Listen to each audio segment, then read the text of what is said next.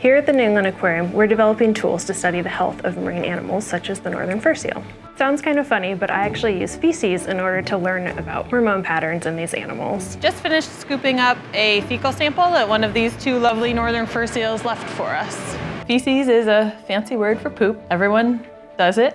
Working with poop is really glamorous. It's, it's what you think it would be. One of the best ways it could help us would be in determining if an animal is pregnant. Because of delayed implantation, where the egg doesn't implant for the first three months, the animal is pregnant for a full year, but oftentimes it takes about six months before you physically see signs of a northern fur seal actively pregnant.